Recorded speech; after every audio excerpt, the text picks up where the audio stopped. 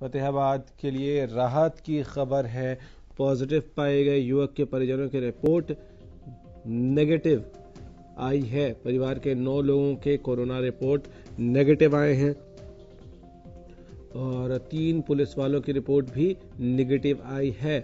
इस वक्त की बड़ी खबर आपके साथ साझा कर रहे हैं। स्वास्थ्य विभाग ने 12 लोगों के सैंपल लिए थे फतेहाबाद में। और कोरोना का केवल एक केस इसमें से पाया गया। फतेहाबाद के लिए राहत की खबर ज़रूर है ये। जब बाकी लोगों के रिपोर्ट्स नेगेटिव आए हैं, युवक जो कोरोना पॉजिटिव था, उसके परिजन के रिपोर्ट्स नेगेटिव आए हैं।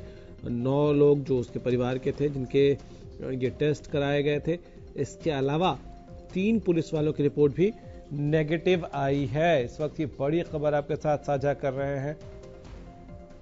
साहिल हमारे संवाददाता हमारे साथ जुड़ गए हैं। साहिल डिटेल्स बताइए।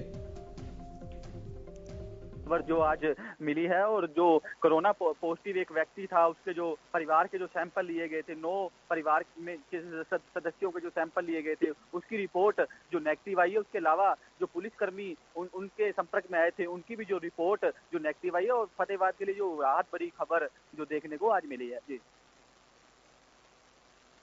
चलिए बहुत शुक्रिया आपका। इन तमाम जानकारियों के लिए।